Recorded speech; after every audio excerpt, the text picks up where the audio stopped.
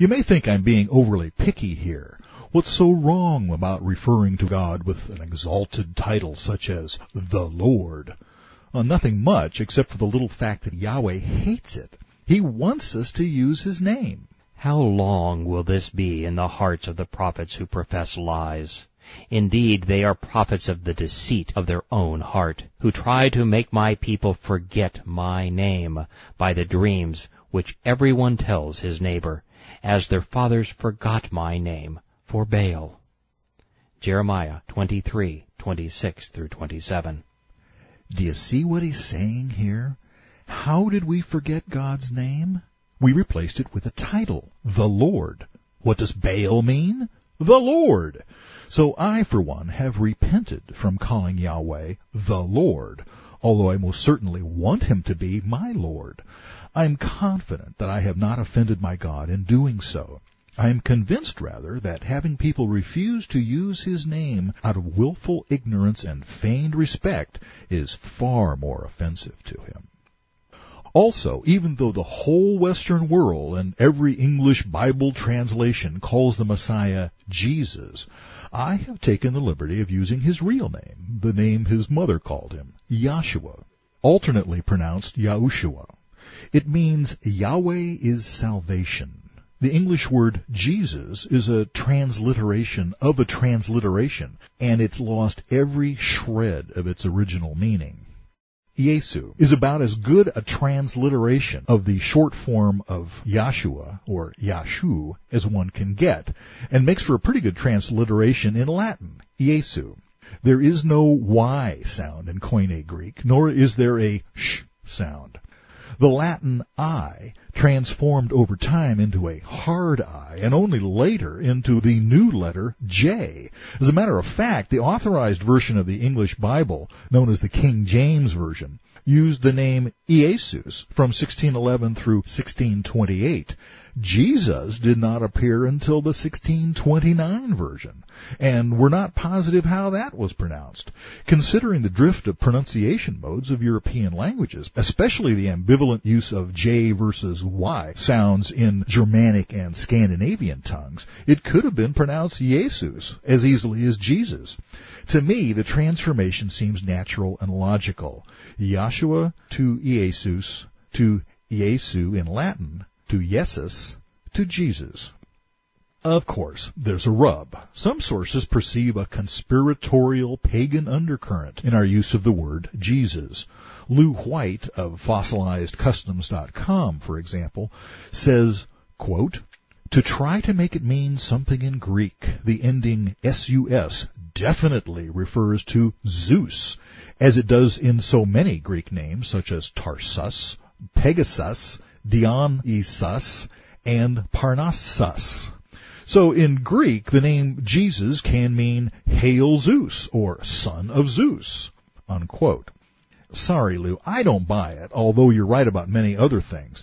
In Greek, the name Zeus would be spelled using the diphthong epsilon upsilon, not omicron upsilon. The ending of names in Greek change forms depending on the case. Thus, the similarity in sound is purely incidental, and the pagan connection is non-existent. Others have noticed a phonetic similarity between Jesus and the name of the obscure and ancient druid or Teutonic god, Gisus, the Horned One. To my mind, this merely shows that there's nothing holy that Satan can't attempt to corrupt or counterfeit. It seems to me that the name Jesus is not, as some would claim, a nefarious satanic plot designed to trick us into worshiping a false Norse god, but rather the inevitable and innocent result of transliterating the name of the Messiah from Hebrew into Greek and transliterating that into English via Latin. Unlike words like Easter, with clearly pagan roots, Astarte, Ishtar, Easter, or perfectly good English words like gay that have been pressed into service in Satan's cause, changing their meaning completely, Jesus is a word I do not intend to strike from my vocabulary. I still prefer the more direct Yahshua, however, and intend to use it in my conversation whenever my audience might be expected to understand who I mean, and I will be using it throughout this book as well.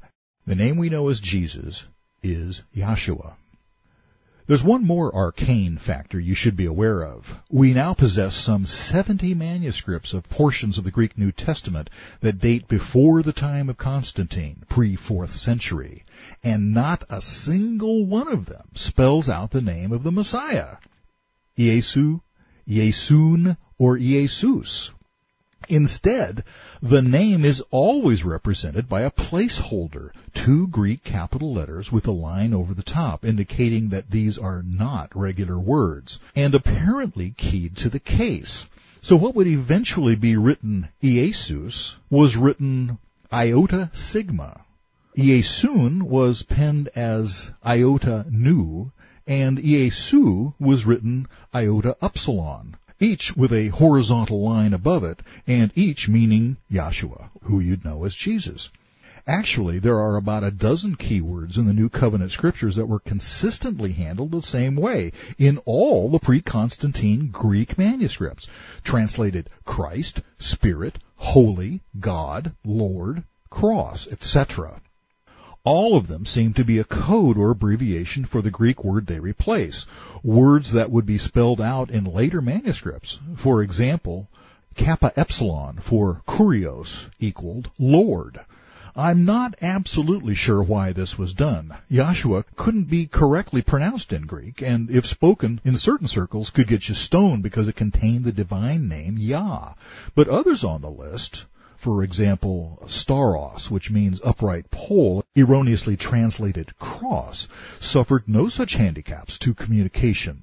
The verbal ideas they represent, however, are invariably critical to our understanding of Yahweh and His plan of redemption.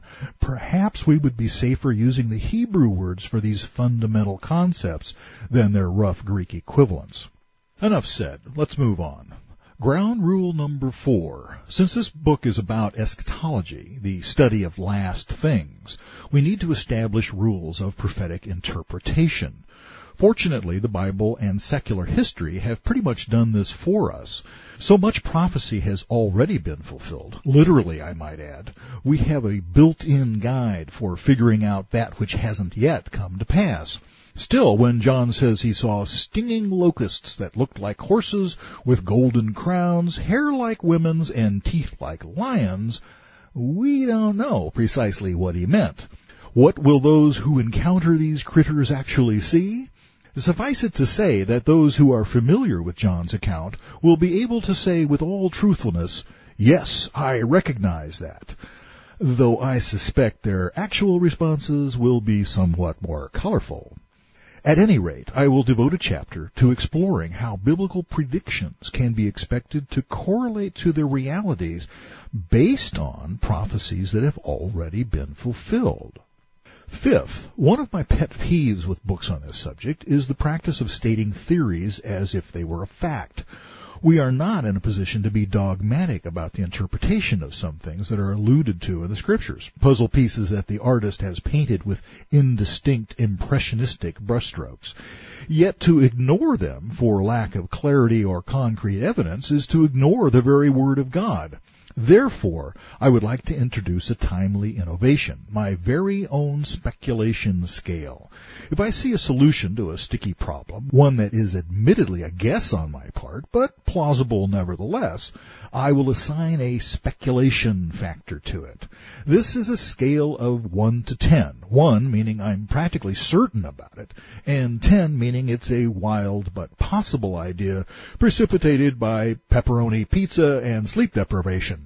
Thus, SF4, speculation factor 4, means that I think the idea may have merit, but it's by no means certain. And SF8 means my solution is just a theory. I only mention it to get you thinking outside the box. Speculative or not, however, I will endeavor not to propose any schemes that are clearly contradictory to the facts as I see them presented in Scripture. And bear in mind that if we aren't given a clear picture about something in Scripture, then whatever it is we're considering is probably not crucial to our eternal destiny or our daily walk with God. Sixth, I have not attempted to deal with things that don't bear directly on the unfolding of biblical prophecy as we approach the end of the age. It isn't that these things are insignificant, only that they're beyond the scope of this book. Actually, I think the issues of salvation and godly living are more important for us today. But tomorrow is approaching like a freight train. Since Yahweh went to all the trouble of predicting it, the least we can do is study what he had to say. Actually, there are hundreds of points of contact between prophecy and the doctrines of sanctification and justification anyway. The Bible is one big story. One author, one plot, one agenda, and the ending is to die for. Seventh, and this is very important, please maintain a mental distinction between my words and God's. I've made this very easy to do. The biblical scripture in this book is spoken in a different voice, like this. God's words, accurately translated anyway, can be trusted. Mine must be taken with a grain of salt. I do not purport to have all the answers, and I certainly can't pretend to be inerrant in my commentary. This book is intended to be a tool, a handy reference guide to all of the Bible's prophecies, in quasi-chronological order, that remain unfulfilled as we cruise into the new millennium. I am not alone when I look around and come to the conclusion that we are very, very close to the end of the beginning, that fulcrum of destiny separating time from eternity. Thank you.